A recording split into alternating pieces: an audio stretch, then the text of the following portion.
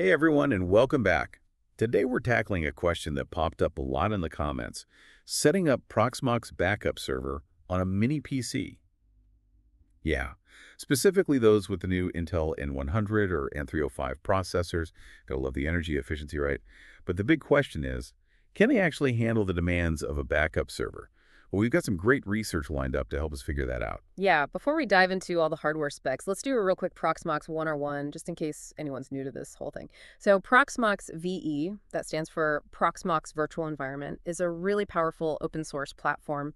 It's used for running virtual machines and containers. And then there's Proxmox Backup Server, or PBS. It's specifically designed to back up those virtual environments, but you can also use it to back up physical machines and other data too. And the best part is it's free, it's secure, and it's super efficient. Exactly. That's a huge part of why it's become so popular, especially for home labs and small businesses.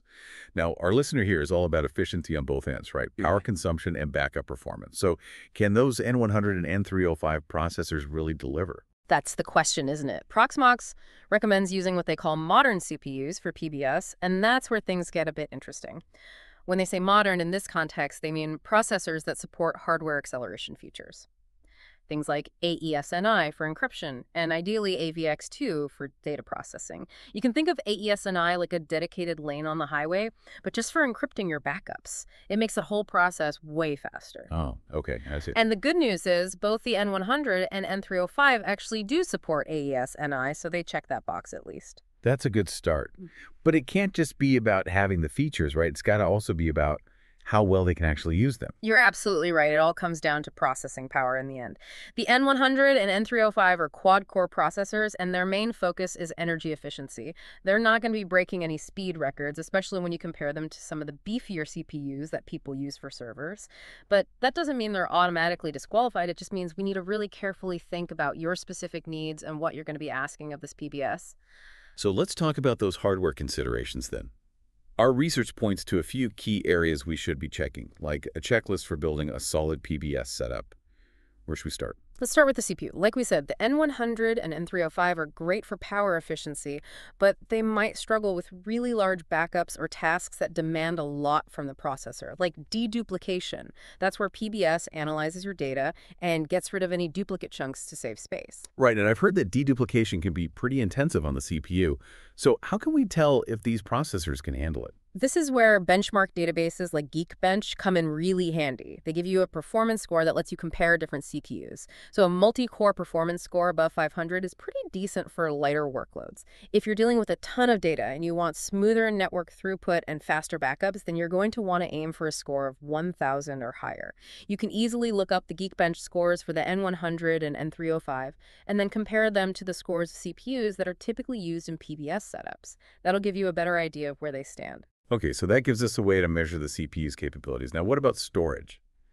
I'm guessing that's crucial for a backup server, right? Absolutely.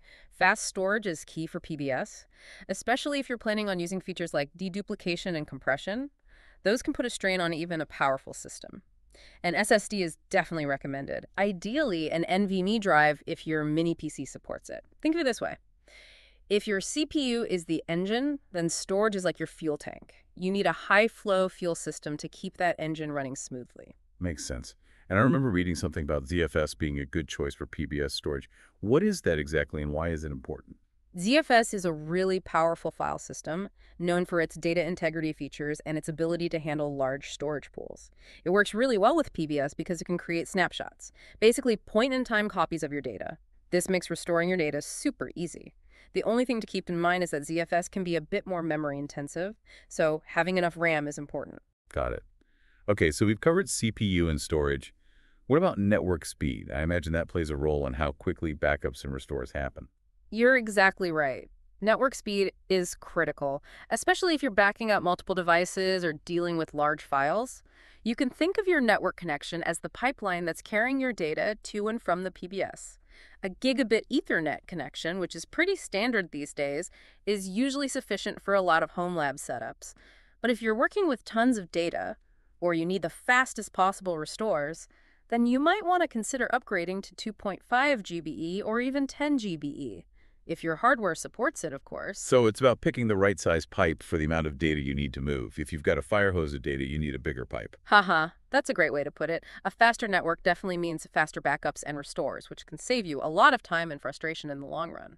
Now, even with the best hardware, there are still certain tasks that can really bog down a system. Mm-hmm. Right? I'm thinking about things like garbage collection and verification. Oh, for sure. Those are super important processes that happen behind the scenes. Garbage collection, or GC, is like taking out the trash in your PBS system. It gets rid of any unused data to free up space and keep things running efficiently.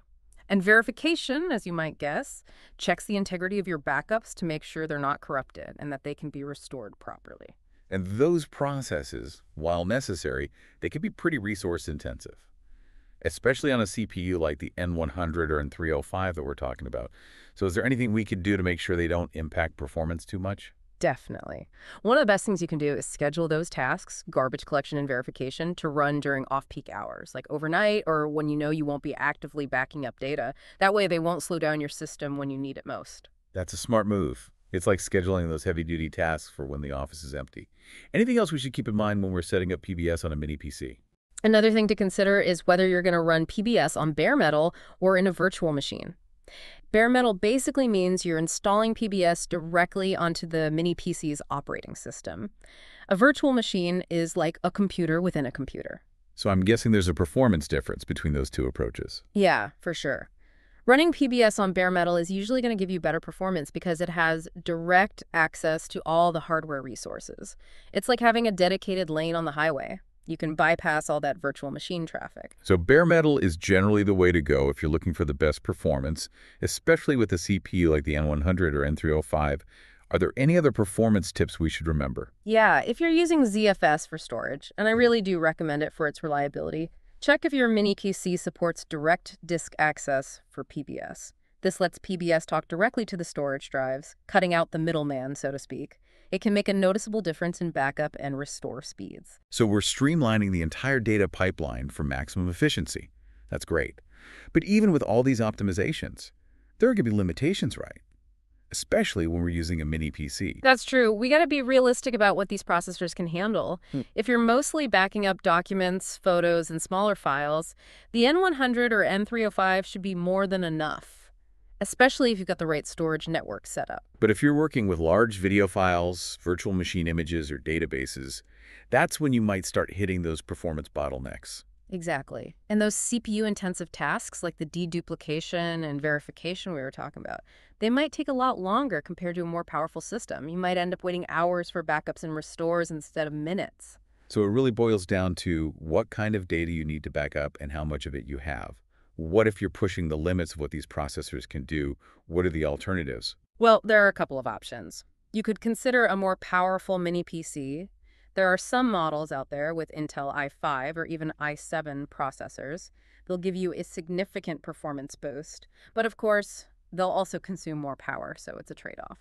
Right. It's all about finding that sweet spot between performance and power consumption. What if a more powerful mini PC still isn't enough? Are there options beyond the mini PC world? Absolutely. If you're working with massive amounts of data or your backup needs are really demanding, you might want to think about enterprise-grade backup solutions. Those are usually rack-mounted servers that are designed to handle really heavy workloads. They come with features like redundant power supplies and advanced management capabilities. So we're talking about going pro, but I'm guessing that also means a bigger price tag. Oh, definitely. Enterprise-grade solutions can be a big investment but they offer a level of performance, reliability, and support that you won't find in a typical mini PC setup. It all comes down to your specific needs and budget. So there's a whole spectrum of backup solutions out there, from the budget-friendly mini PC to the high-performance enterprise server. It's about choosing the right tool for the job. But even if you're on a tight budget, using a mini PC with an N100 or N305 processor for PBS is a totally viable option. For sure. It's a great way to get started with a solid backup solution without spending a fortune.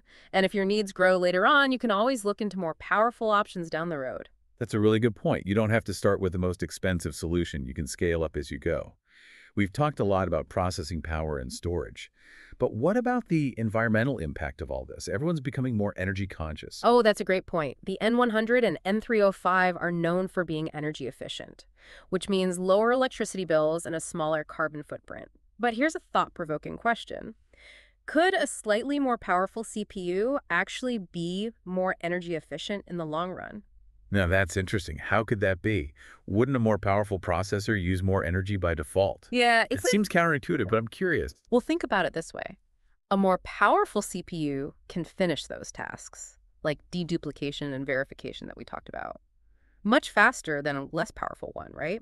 Even if it uses more power during those bursts of activity, it might actually spend less time overall working on them, which could lead to less energy consumption in the long run. It's kind of like comparing a sprinter to a marathon runner.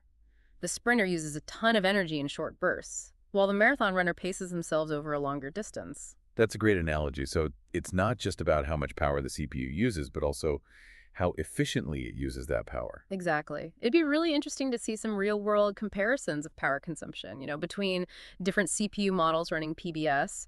Maybe a CPU that's a little more powerful, even if it has a higher TDP, could actually end up using less energy because it's faster. That's a great point. Something to keep in mind when you're choosing your hardware. It shows how important it is to look beyond the basic specs and think about those long-term implications. Absolutely. And it reminds us that there's always a balance to strike between performance, cost, and energy efficiency. There's no one-size-fits-all solution. The best thing to do is to really think about your needs, do your research, and then pick the setup that works best for you. Well said. This deep dive has definitely given us a lot to consider. For those of you who are ready to jump into setting up your Proxmox backup server with a mini PC, what are the key takeaways here? Choose your CPU carefully. Think about that balance of power and efficiency. Don't skimp on storage speed. An SSD is essential, and if your hardware allows it, look into direct disk access. Make sure you're optimizing those background tasks like garbage collection and verification, and remember you can always scale up your setup as your needs change. Great advice. And as always, we want to hear from you. Share your experiences, your insights, your tips. Let us know what works, what challenges you run into. We're all learning together here. The more we share, the more we all benefit. So keep experimenting, keep learning, and most importantly, keep those backups running.